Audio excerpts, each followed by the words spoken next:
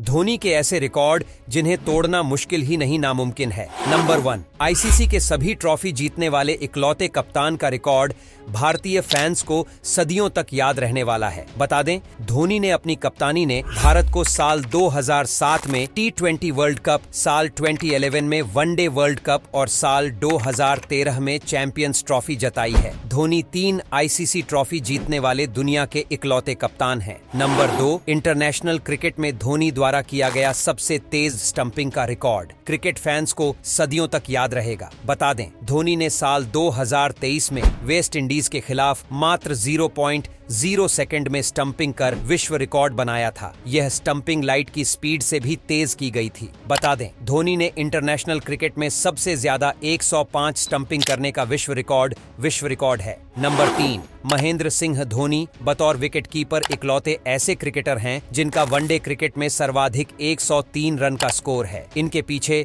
South Africa के Quinton de Kock का भी नंबर है। वहीं इनके नाम बतौर विकेट कीपर दस हज़ार से अधिक रन बनाने का भी रिकॉर्ड दर्ज है। नंबर चार, भारत के सबसे सफल कप्तान धोनी है, जिन्होंने अपनी कप्तानी में सबसे ज़्यादा मैच जिताए हैं। बता दें, धोनी ने अपनी कप्तानी ने भारत को 200 वनडे मैच में 110 में जीत दिलाई है। वही टी मुकाबले में 41 जीत दर्ज कराई है। नंबर फाइव, इंटरनेशनल क्रिकेट में सबसे ज़्यादा मैच में कप्तानी करने का रिकॉर्ड भी महेंद्र सिंह धोनी के नाम ही दर्ज है। बता दे, धोनी ने सबसे ज़्यादा 300 मैचों में कप्तानी की है। वहीं इनके पीछे ऑस्ट्रेलिया के कप्तान रिकी पोंटिंग है, जिन्होंने 320 मैचों में कप्तानी की है। Number six Mahendra Singh Dhoni IPL में चेन्नई सुपर किंग्स की कप्तानी करते हुए पाँच बार ट्रॉफी जीता चुके हैं। वहीं सबसे ज़्यादा बार चेन्नई को फाइनल में पहुँचा चुके हैं। आज के लिए बस इतना ही मिलेंगे। नेक्स्ट वीडियो में तब तक के लिए बाय